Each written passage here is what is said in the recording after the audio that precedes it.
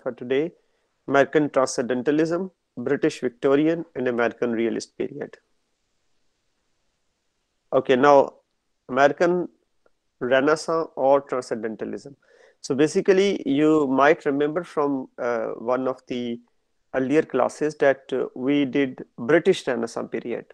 Okay, and I told you at that time that uh, the word Renaissance stands for rebirth of knowledge and the British Renaissance period is marked by the rebirth of classical uh, texts. But this is not British Renaissance, we are talking about American Renaissance today. It is also called American Transcendentalism. Uh, roughly, it spans over 1828 to 1865. So the time is before the Civil War. American perspective on the world through these texts. Moby Dick, 1851, and Leaves of Grass, 1855. These are these two are two major texts of American Renaissance literature. Moby Dick is a novel of huge scale.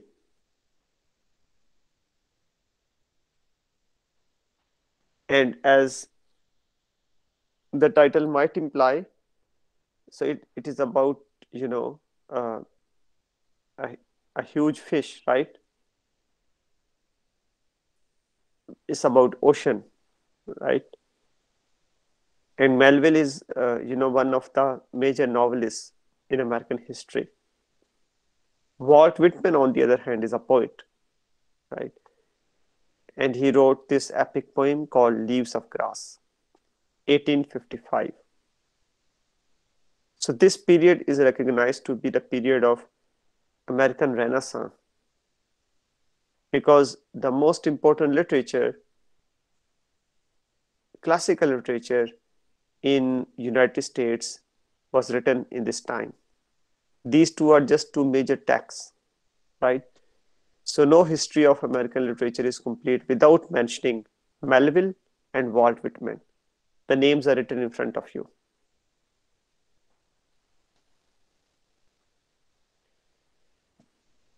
So along with that, we had a movement in the US called Transcendental Movement. Transcendental Movement claimed that uh, human beings will be happier if they have direct engagement with the nature. And by nature, they meant just the opposite of urbanization. So in order to get uh, you know a higher imagination a spiritual relief according to transcendental movement people should connect back to the pure nature as one might find you know in landscape or in say you know in in mountains right? Or in jungles away from the city sorry.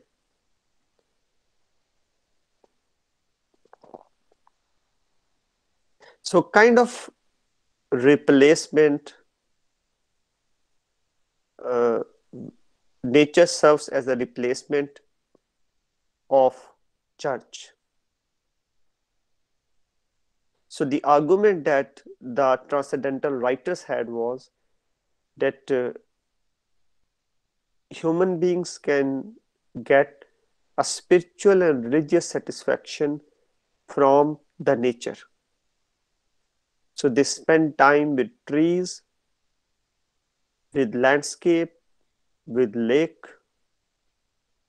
with you know waterfalls, and all you know all those uh, uh, physical representations of nature. So these writers were very serious about the role of nature in the life of a society. The most important writers of this movement, which is called Transcendental Movement, were Ralph Emerson and Henry David Thoreau. So both of them wrote uh, fiction and non-fiction in order to establish the idea that uh, people should return to nature in order to get spiritual and religious satisfaction. Now, right after Transcendental Movement, there emerged in the US a Gothic canon. The Gothic canon was, in a sense, related with Transcendental Movement as well. So basically, Gothic means mysterious. Under Gothic canon, that kind of literature was written, which was full of mystery and which was also, you know, full of the dark elements of human nature, like fear. So these writers, Edgar Allan Poe and Nathaniel Hawthorne, Edgar Allan Poe was famous for his short stories, while Nathaniel Hawthorne was famous for his novels.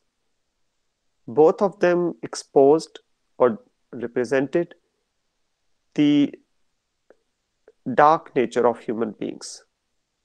So, how, for example, or why people get get scared the mysterious element in human nature, all that was represented in their works.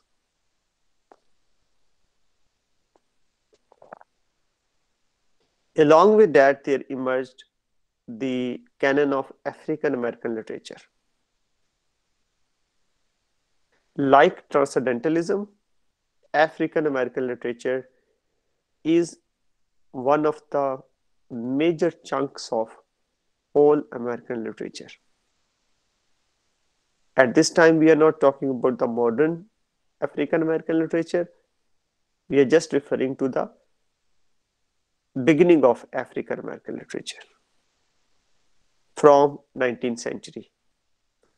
So it was Frederick Douglass who wrote his famous autobiography, which was published in 1845.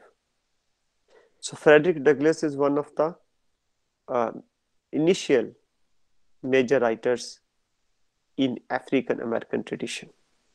So students who are interested in studying American literature, they very often end up reading African American literature because it is so huge.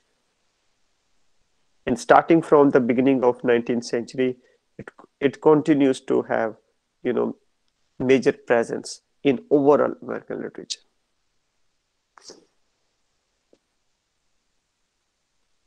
Now, parallel to that, we come to the Britain. What was happening there in 19th century?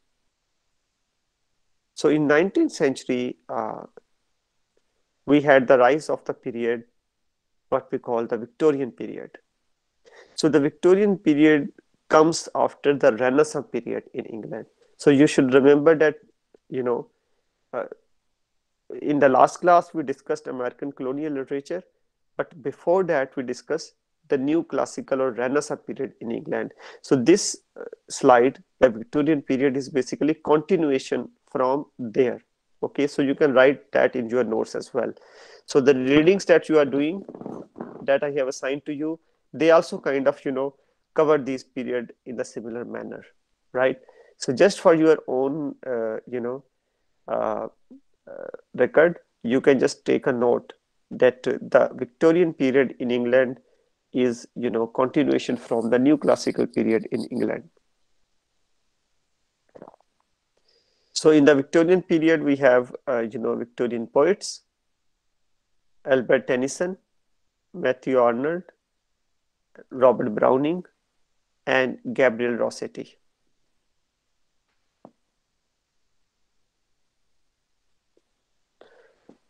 More than Victorian poetry, Victorian novel was famous.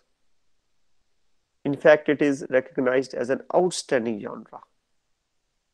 So the British Victorian novel probably is the best form of British literature ever produced. The writers include Charles Dickens, Charlotte Bronte, George Eliot, Thomas Hardy. So do you know any of the works by any of these novelists, students? Would you like to share a novel by at least two of these writers?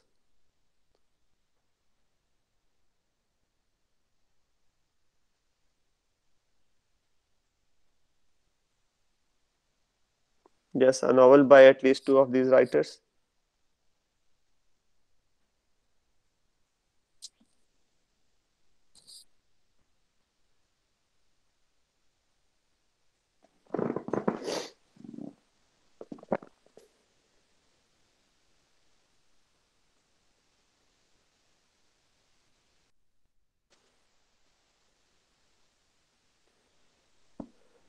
Okay, so Great Expectations by Dickens. Usama has put in the chat, and Minahal says uh, Jane Eyre by Charlotte Bronte. Okay. Other students? Any novel by any of these writers?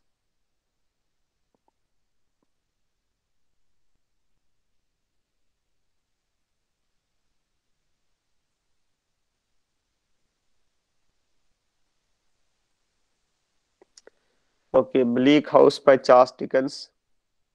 Uh, okay, any other?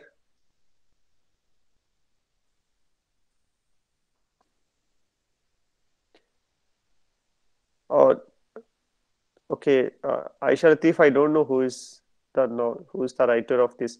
So you can see the novelist on the left on your screen. So any novel by any of these writers. Willett who wrote this uh, uh, work, Muhammad Mohsin?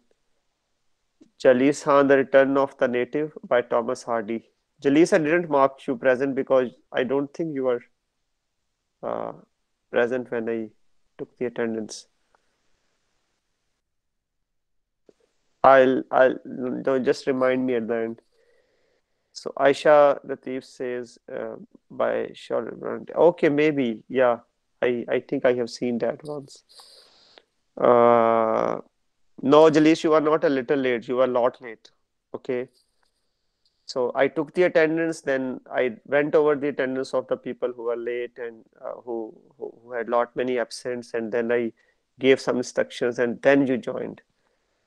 Okay, so Johnson Javed says A Christmas Carol, okay, by Charles Dickens. Talha says Oliver Twist by Dickens, and then Khurram Abid David Copperfield by Dickens. Okay, good. Romola by George Eliot. Maybe it's not a very no. This I don't think that is spelled like that. Adil Pervez, just check with that. It it is a little known work by George Eliot, uh, but I think it's spelled differently. Uh, Jalise, please remind me at the end now for the attendance. Uh, who else? Anybody else put any work? Halima, uh, Tess by Thomas Hardy. Okay.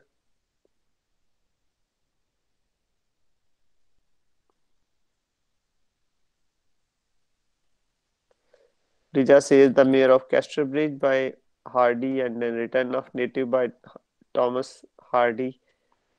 Yeah, that that is a work by him.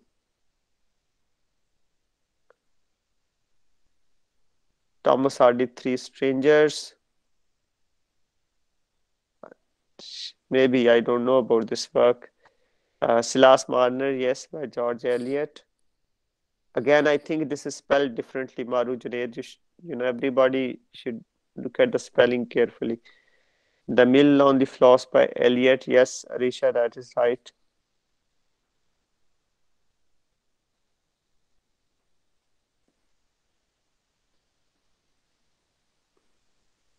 Okay, so, so uh, not everybody has to respond to this next question that I'm going to ask. Can you mention the work that you have read by any of these writers?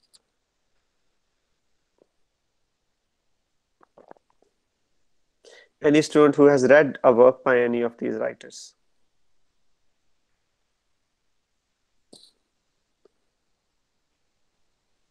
Uh, Usama just mentioned the work if you have read it. Mohammed Mohsin, I don't know who wrote this tale, Shille. Do you have a writer too?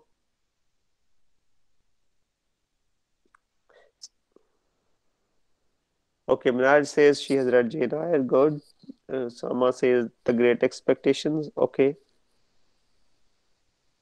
Okay. This is a big achievement if you have read these novels already. Uh, Isa says Under the Greenwood Tree by Thomas Hardy. Isa, did you read uh, the novel itself? Uh, Alina says Oliver Twist. Okay, good. And then Return of the Native as well. Usama. Alina says Christmas Carol. All right. Sama says Jane Eyre. All right, Isa. This is great. If you have read all these works.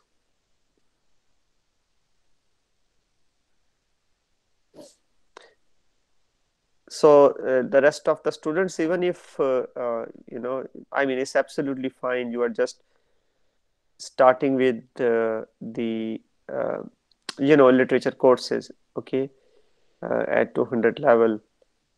so it's not expected of you to have read, okay. So this is fine if you have not, but I do suggest to you that uh, you start reading the shorter texts. Okay, uh, most of the works by these writers are really big. Okay, uh, but you can start with a with a with a smaller work if you can find. At least you can start with the short stories. You know, these or other writers have written. Okay, that is a good start. But then there are shorter pieces of fiction as well uh, you can read that those those you know which you find shorter in the size so the best way is to uh, go to the library if that is possible for you and look up these writers over there and look at their texts which are available okay get hold of them and read them on your own that that will be really helpful at a later stage in your degree all right so now there is an important aspect of Victorian novel, you know. This novel, which is Victorian novel, is also called the realist novel. It is called realist novel because uh, it represented uh, mostly, well, not not you know, uh, not in all cases, but in most of the cases, uh, the the novel written in Victorian age was a kind of realistic or realist depiction of the society. Okay, so there are too many ways to look at the society. There are too many ways to look at life through a literary text. So there could be, for example, uh, a romantic view of life, or there could be magical realist view of life, or there could be a surrealist view of life. There could be an abstract view of life as well, right? So some of you might have seen abstract paintings, right? They are very common. So when you look at an abstract painting, uh, you do not usually get any meaning out of it. Why? Because the artist who made that painting had uh, viewed at the life from the same perspective right and that arti- artist had realized that life was essentially meaningless therefore she or he painted uh, in abstract form right so i'm giving you those examples just to make you understand that another way of representation is realist way of representation and the Victorian novel is one of the best examples of the realist depiction of life. So these writers, Charles Dickens, Bronte, George Eliot, Thomas Hardy, mostly, you know, mostly they represented the life from realist perspective. In other words, they described the life uh, as they saw it happening in front of them. Okay, so their claim was that they was not that they were not uh, adding, you know, anything from their own side, but they were only trying to give a photographic representation of the life as it as they saw it. Of course there are there are some exceptions too right? But mostly victorian novel is called the realist novel. Now this point is important because we also had along the same time the realist novel in the united states or the realistic period in the united states so the most important novelist the American novelist for the realistic period was Mark Twain, whose real name was Samuel L. Clemens. And he wrote very well known The Adventures of Huckleberry Finn. Many of you must have heard about it. There was also a poet, you know, very famous poet, American poet, uh, you know, a woman poet, poetess, Emily Dickinson, right? And she also wrote from the same perspective, the realist perspective. Right. So, so this is what we discussed today. We basically focused on the 19th century, right? The 19th century in American and British literature. So in American literature in the 19th century, we had the Renaissance period, American Renaissance period, and also we had the American Transcendental Movement at that time. And American literature in 19th century was marked with Gothic canon and African American canon. So basically, if you are interested in American literature, as I said earlier, uh, you cannot study that without studying African American literature.